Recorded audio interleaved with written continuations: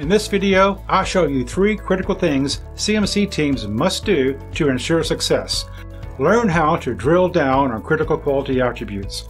I present a business case in view of a due diligence assessment by Big Pharma. I present three best practices along the way, so stay tuned to the end, and let's get started. Compliance is not the only reason for development firms to have robust systems and documentation in place. I submit due diligence by prospective buyers is the prime reason firms should take care of how their development process is planned, executed, and documented. With biotech mergers and acquisitions growing for 25 years, companies need a robust process to prepare for due diligence assessments on both the buying and selling sides. Be sure to subscribe to our channel and click the notification bell.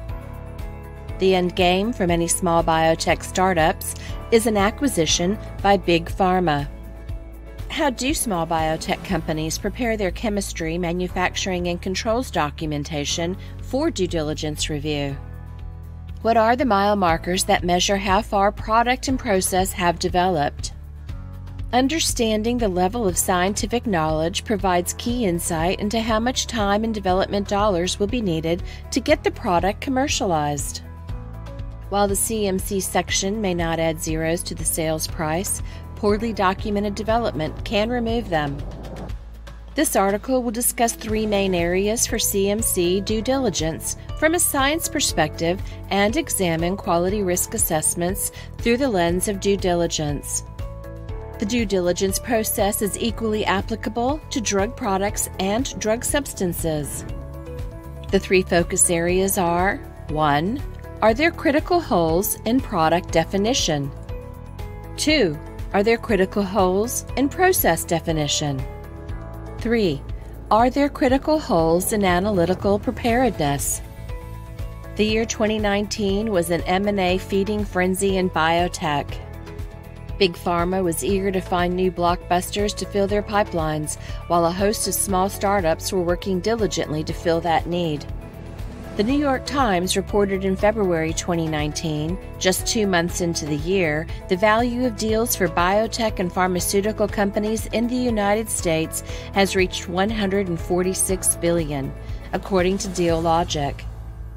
That is more than what was announced in all of 2018, 2017, or 2016, and it accounts for 40% of all takeover announcements in the United States so far. Investors Business Daily reported the acquisition total had reached 195 billion by September. IBD predicts 2020 will see the focus on gene therapy and oncology. The stakes are high for those vying to cash in on the billions of dollars in biotech gold. From a CMC due diligence perspective, the path is straightforward. The key question is how well have product and process variations been characterized and controlled?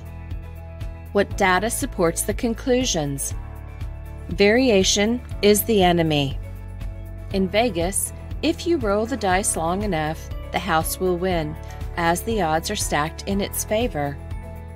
Likewise, firms can get on a lucky streak without characterizing and understanding variation. Firms can push the project forward, making bets the project will come out fine. It is tempting to cut development to the bone to keep a project on time.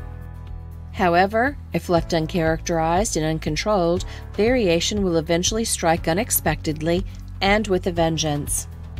The biggest sin is to get a drug approved that cannot be manufactured. Due diligence is the process by which a potential buyer determines how much risk the development project is carrying. Big Pharma wants to understand the gaps in development and confirm the projected launch date.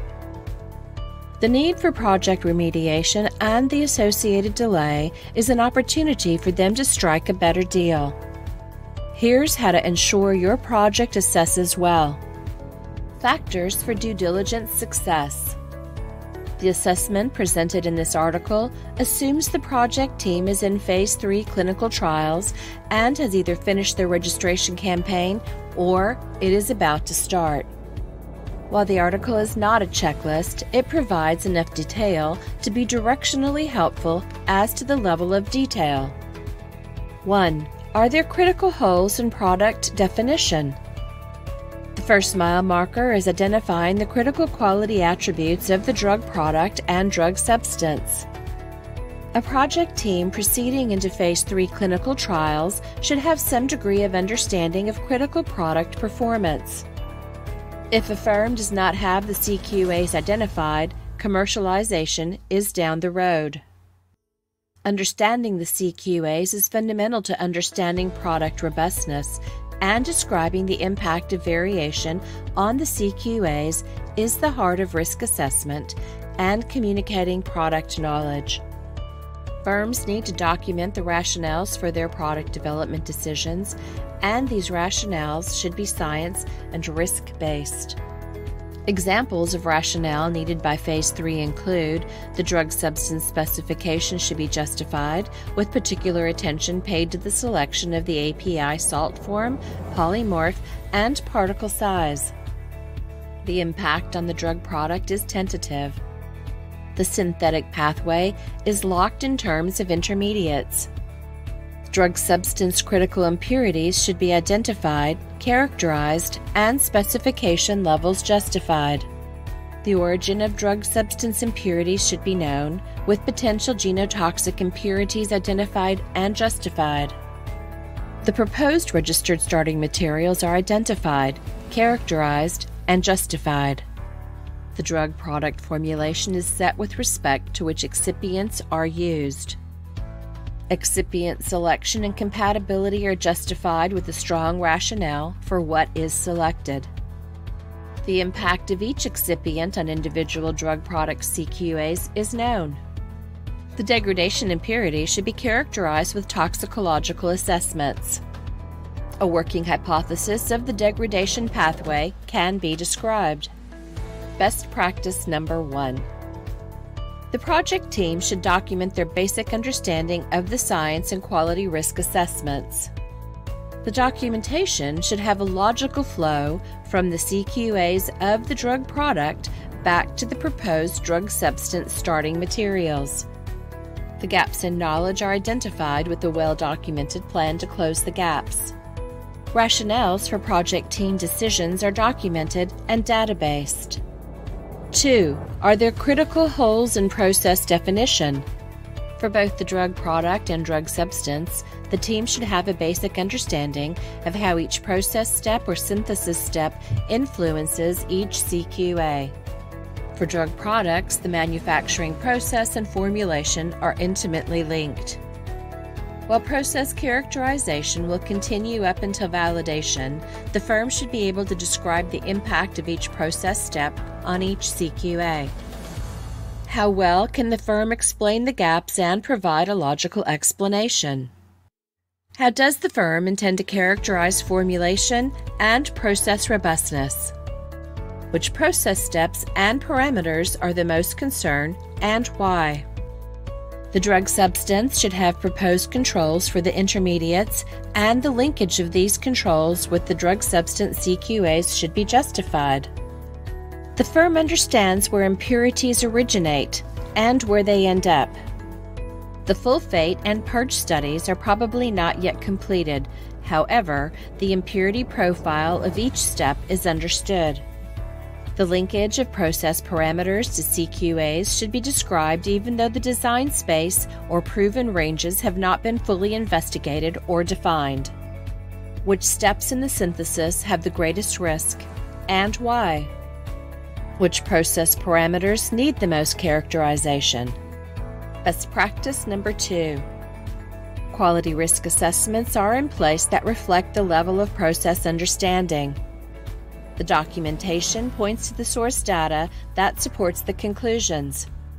The project team documentation clearly shows what is known and what is still in process.